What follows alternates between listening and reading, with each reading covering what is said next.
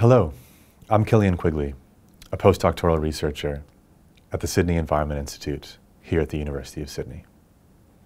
To start, I'd like to acknowledge and pay respect to the Gadigal people of the Eora Nation, the traditional owners and custodians of the land where the University of Sydney stands and where I'm talking to you now.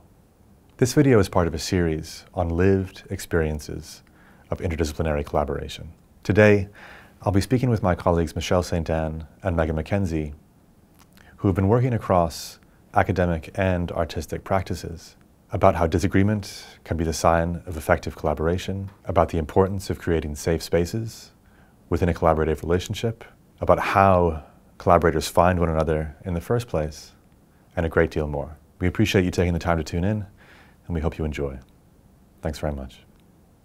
Hello, I'm Michelle St Anne and I'm the Deputy Director of the Sydney Environment Institute and I have another life as the Artistic Director of the Living Room Theatre here in Sydney. Hi, my name is Megan MacKenzie. I'm a Professor of Gender and War here in the Government and International Relations Department uh, in the School of Social and Political Sciences.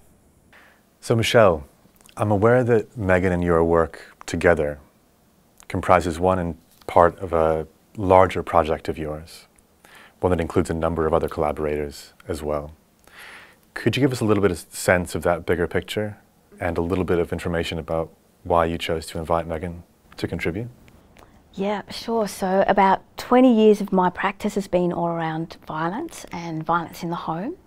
Um, and doing my work at the Environment Institute, where um, it's all about environmental uh, damage, I kind of wove my lens of violence um, into this bigger large scale project, which is a little bit crazy. We're looking at the aesthetics of violence so that we understand how that feels so that we can recognize it when it's in plain sight. Um, and I pulled together a large range of different types of scholars. And I had known about Megan through a research assistant who kept on talking about Megan MacKenzie, Megan MacKenzie, war. And I was like, she's my lady.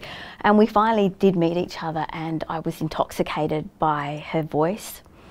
Um, and the way that she talked about her research and how her research uh, stuck to her. And to me, that gave a really beautiful visceral experience. And I invited her to explore her work in this kind of new remit. So, Megan, how did that invitation land with you? I mean, when Michelle first approached you, what was your sense of what she was inviting you to contribute?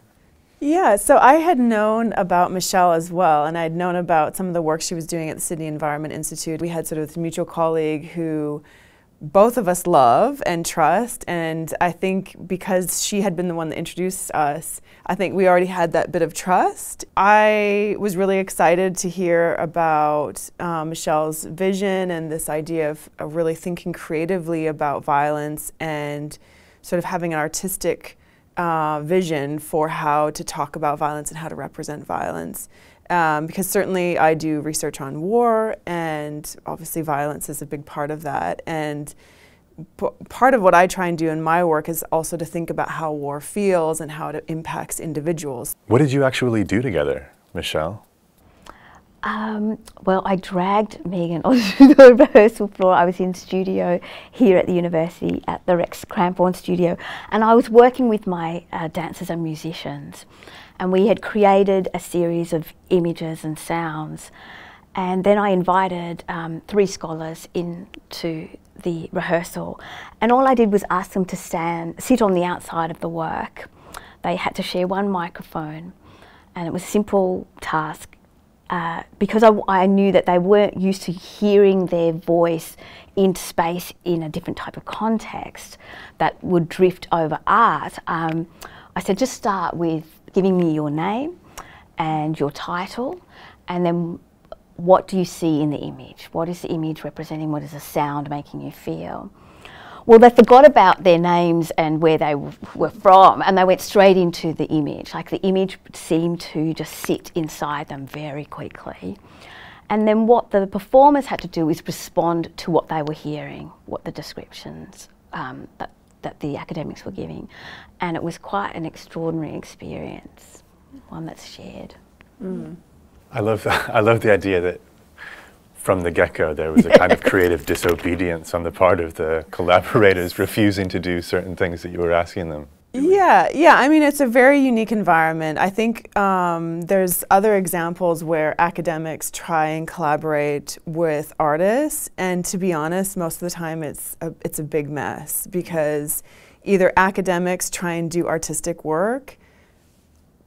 No offense. I mean, some some academics are artists, but it's it's sort of like I mean, even think about all of the setup we had today in this room. So, for example, you have a pro professional setting this room up so that it looks like a, a that this video is going to be done well, right? And so, if you have academics thinking, "Oh, I can just paint," or "I can just do a podcast," without understanding that actually these are these require skills and and training in some cases, and um, and so often I think it doesn't go well, um, and or um, artists sort of taking over. You know, it's either one. I think it's very very seldom like truly collaborative, and it felt the way Michelle set this up, um, where we were meant to comment on the artists, and also the artists were responding. It immediately felt like, oh, this isn't actually just about us sort of adding on to the existing piece or them trying to interpret what we're saying, which I think neither of which would have worked exactly. I love what you say about the perils of a collaborative style that seems to be about acquiring or mm-hmm. pretending to acquire somebody else's expertise or somebody else's practice.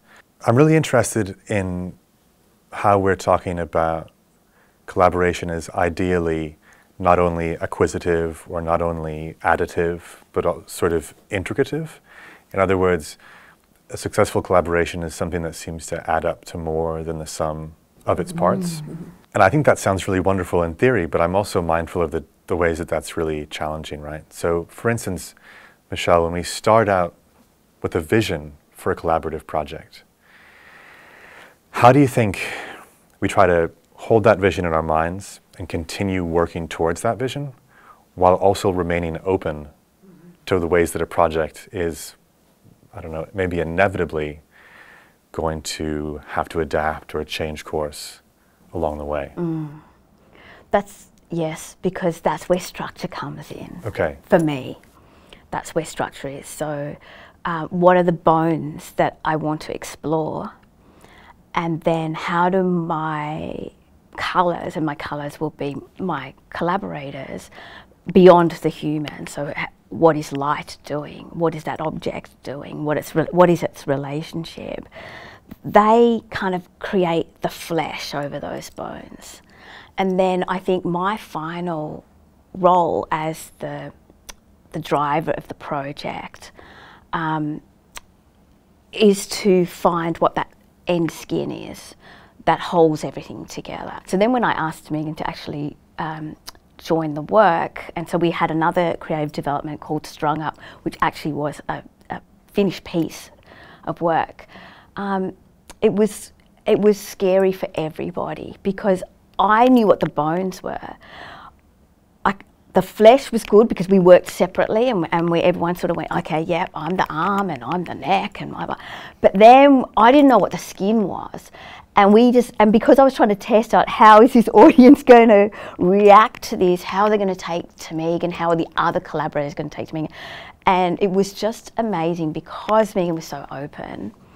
Everyone kind of cared for her in a sense of okay, you know, if you're going to make a mistake, don't worry about it. We're here, we're professionals, we can cover that. But I also think it comes from that idea about my vision being very clear so people could buy into that because I described an aesthetic form as opposed to A, B, and a C. You said something towards the end first that maybe we should underline, which is about um, an effective collaborative practice that has space for even roles within the collaboration to change. The idea that the roles that we define for ourselves and for others in the early stages of a collaboration are not necessarily static, right? But also to work with your, your metaphor, if I oh, followed it correctly, we had bones, flesh, and skin, right? And the idea that an integral skeleton needs to exist in the early stages, needs to be erected in the early stages, in order for the flesh to kind of constitute itself and reconstitute itself over the course of time. And I love the, uh, the addition of skin as a kind of external or outward facing um, layer of the entire process, which uh, in your metaphor, your collaborators were actively weaving. And of course, it's going to be brown skin because it's the skin that I, I walk around in. And so, in that, when I'm making work, it has that it has that sense of hurt, and it has that sense of the unheard and the unseen. Um, and I know that's kind of heavy, but in a way that colours my lens as as any other collaborator the way what they bring in is what is their lens, what is their sense of being and their place in the world. That is really a wonderful um, way of describing everything that we're talking about, and it's really inspiring. I also want to make sure that we're remaining attentive to um, challenging things, right? Things that the ways the ways that collaboration um, always involves, right? Difficulty and dissonance and so on.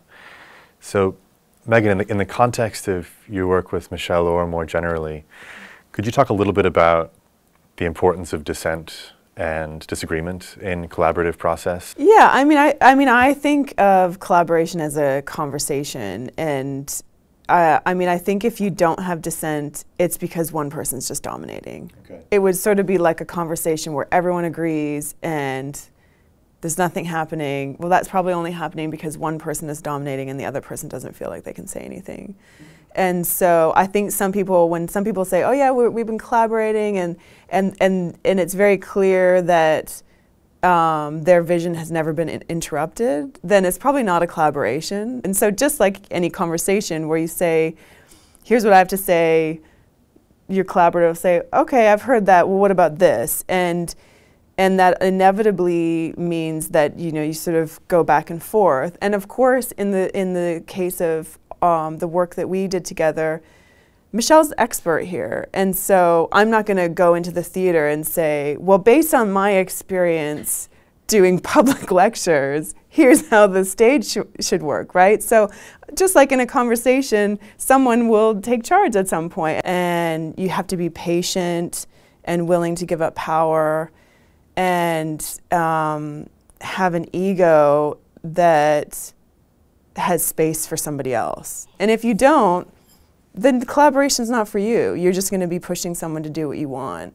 I'd love to pick your your brains for, for hours and hours. I feel like we could talk about this endlessly, but part of me feels like this is a great place to bring this to a point because so many of the things that you've been saying um, seem absolutely instrumental for folks who may be embarking on their own or continuing on their own um, collaborative journeys. Thanks a lot, Michelle. Thanks a lot, Megan. Thank you. Thank you, Killian. It's really Thank been a pleasure you. talking to you. She's the best. She's the best. True. Thanks again um, for tuning in. Again, I'm Killian Quigley from the Sydney Environment Institute. We really appreciate your time and your attention. Take care.